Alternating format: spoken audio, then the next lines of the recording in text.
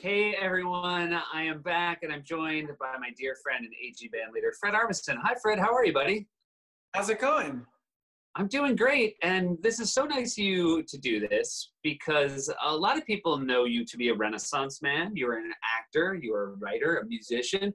But one thing people don't know about you is that you are a art connoisseur. I like that word, and it's it's uh, it's correct. Yeah. And you were telling me that you have an art historian's knowledge of every painting ever painted. And we were thinking, since it's very hard, obviously, right now for people to do things like go to a museum, uh, we would maybe take advantage of your uh, great knowledge right now in a segment we call Fred Armisen Art Aficionado. All right, so Fred, here's how it's going to work. I'm going to text you a painting right now, and you're going to look at it, and you're going to tell me everything you know about that painting.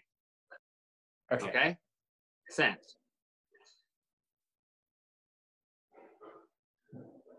Oh yes. You This do, is, so you um, know this painting. Of course, I know this painting. the The person was an entertainer. This uh, person who wanted his painting done.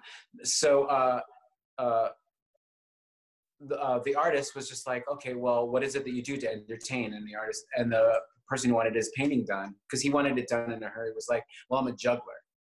Oh. and um, he's like, "Well, how am I supposed to do that? How how do you want me to show that you're juggling?" And he's like, "Why don't we? Let's do this.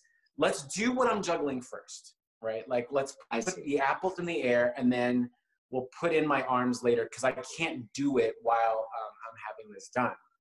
Um, so he did he did the one apple, right? Because that's what he was juggling, and then the guy who wanted his painting done couldn't uh, pay for it, right? Like he didn't do, uh, he, he like he. Wait, you know, Fred, I'm going to stop you real quick. The painter uh, uh, was the juggler, or the man being painted was the juggler? the man being painted was a juggler.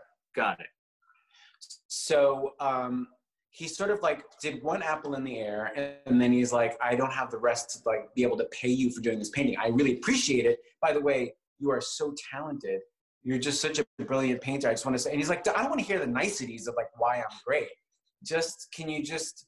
I need to be paid for what I do. This is like my only job. I don't go from painting, you know. Was this I a want- situation, and again, sorry to interrupt, was this a situation where the apple was painted and then the painter said, Hey, I'm just checking, you have money for this, right? Because it seems strange that he would start the painting, stop after one apple, and then check on the finances.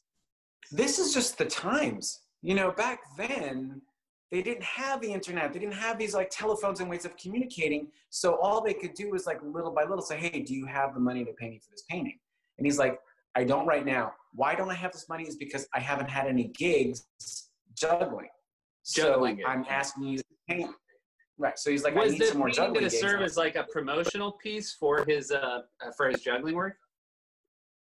Uh, one thing you have to remember about art is that it was all promotional pieces. This is all it was all what we call advertising now. So that's why he needed it done. He's like, well, What was uh, what was the Mona Lisa uh, advertising? uh, shawls? There was like so she's wearing this sort of shawl, and she was so that was just to get the word out there, Whi- which is why she was expressionless because for a while she was like grinning from ear to ear and.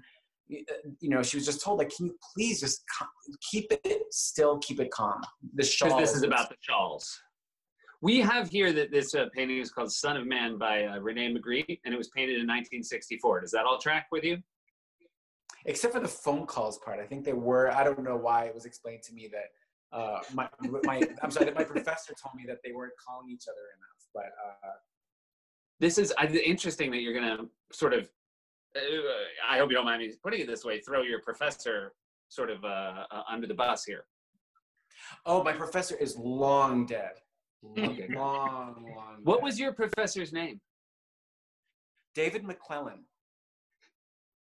And where did you study art? Uh, I I studied at this marine biology university that and it's so it's just that they had an art department there.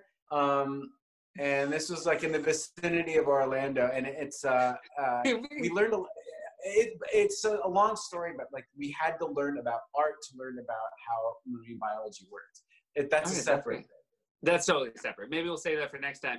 Uh, once again, give it up for Fred Armisen, art aficionado.